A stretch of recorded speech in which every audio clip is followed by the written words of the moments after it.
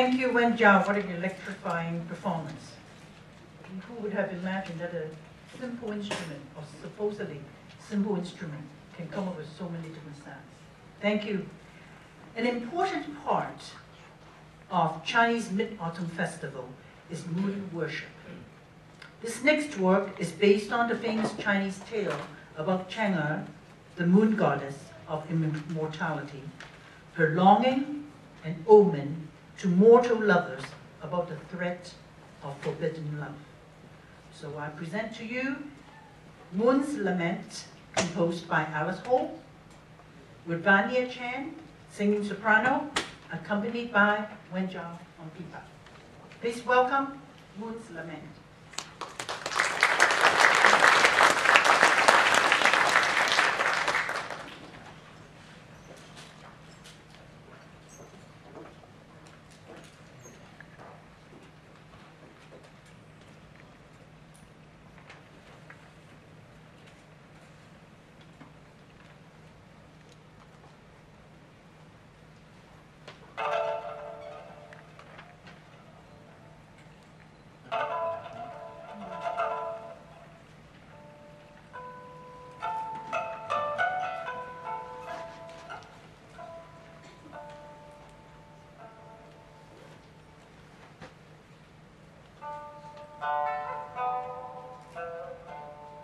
Thank you.